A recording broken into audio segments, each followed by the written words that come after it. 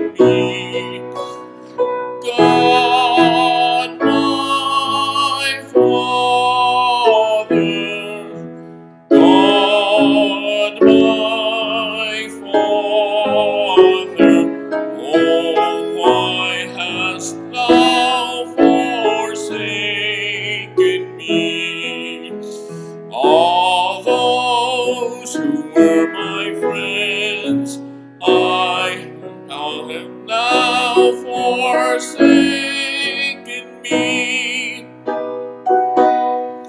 All those who were my friends, all have now forsaken me. And they that hate me do now prevail against me.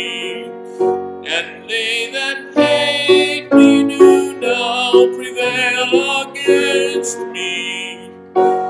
And he whom I have cherished, he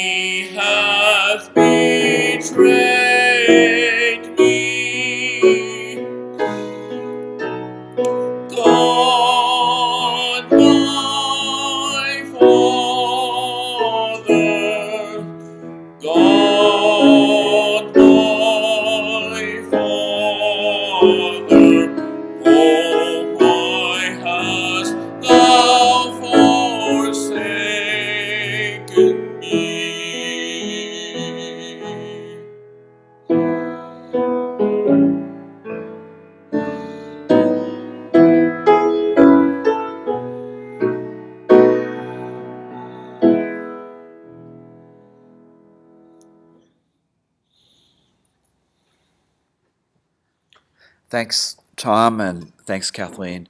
Uh, we really appreciate you coming in today. We continue to function as a church. We're praying for one another. Uh, we're communicating with one another uh, electronically over the phone. Uh, thanks for listening. Uh, God's blessings on you today.